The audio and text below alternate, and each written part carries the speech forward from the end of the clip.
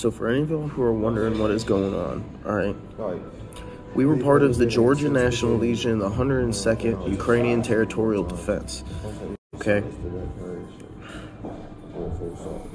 Our base got fucked up. The base right next to us got fucked up.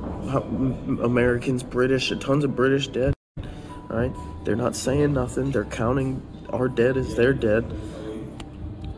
They're trying to send us to Kiev with no fucking weapons, no kit, no fucking plates.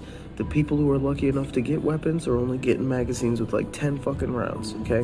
When they wanted to send us to Kiev, we said no. Our whole group, a bunch of Americans, Canadians, British. So they told us we had to get the fuck out or they were going to shoot us in the back, all right? So me, this British guy, and another American, we fucking hid in the back of an ambulance to get out.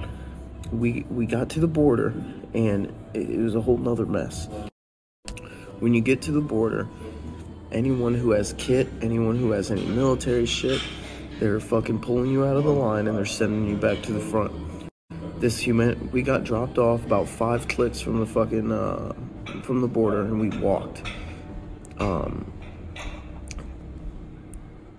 and we get to the border in this humanitarian group with a bunch of ex-SF veterans from England. Uh, pull us to the side and say you need to get like pulled us out and fucking like hit us. And they were like, you need to dump all your kit. They're pulling people out, cutting up passports, sending them back. So we dumped our shit. We got like in all of our fucking, we got in like Red Cross vests, and they had like fucking humanitarian passes to get us through the Ukrainian border. People need to stop coming here. It's a trap, and they're not letting you fucking leave. The best way to leave is like in a Vic or a car or something. People who get on by vehicle have a better chance of hiding their fucking kit in the back, doing whatever the fuck they can, but do not try to leave Ukraine on foot if you're a volunteer. It's a mess, and it's it, it's a trap.